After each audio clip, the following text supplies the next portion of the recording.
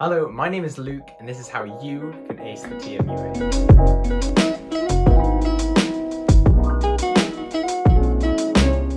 So what is the TMUA? The TMUA is comprised of two sections. Section 1 is mathematical thinking, and section 2 is mathematical reasoning. Both sections are 75 minutes long and comprised of 20 questions each. This means you get an average of 3 minutes and 45 seconds per question. The content of the TMUA is exactly the same as the CTMUA.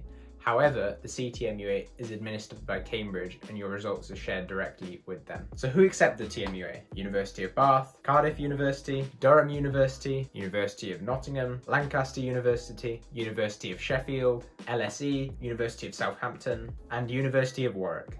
When is it sat? The TMUA is usually sat in early November. In 2020, it was sat on the 5th of November. This was online, but usually it will be sat in person in an example on paper. So how should you revise? Revise early. It's important you start revising in the summer before you sit the test, if not before. To prepare, you should first go over the A-level syllabus. The website specifies that you only need to know first year A-level maths. However, as syllabi vary, you might need to know some second year A-level maths. So it's worth checking the specification to see if you don't know anything. Read the specification.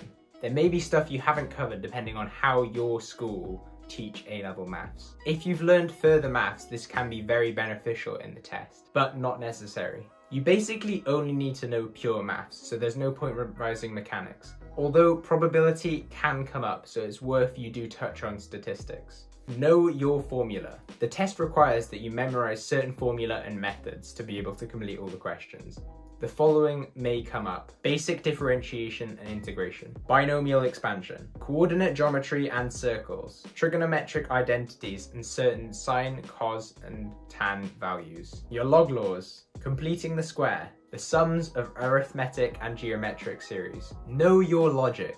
For section 2, you'll be asked about logic. You will need to know how to use true and false statements, how to use and and or as they are very different in maths, the converse of a statement, the contrapositive of a statement, the words necessary, sufficient, and the terms for all, for some, and there exists.